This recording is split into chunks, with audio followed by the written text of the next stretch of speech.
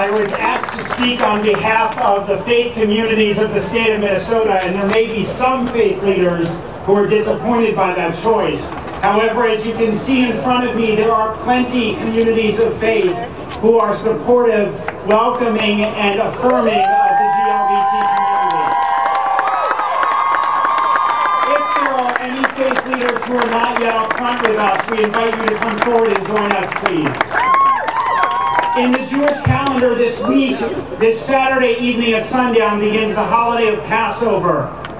And if there is one message that comes up more frequently than any other regarding Passover, we see no fewer than 36 times in the Hebrew Bible. Am I getting right in the way of Do not camera? wrong or oppress the stranger because you were strangers to Pharaoh in the land of Egypt.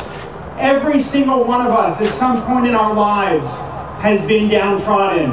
Every single one of us has been a stranger. Every single one of us has been on the receiving end of hate.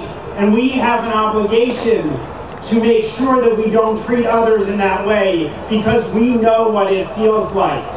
Every single one of us is created, B'Tselem Elohim, in the image of God. And the way that we treat one another reflects the relationship that we have with God.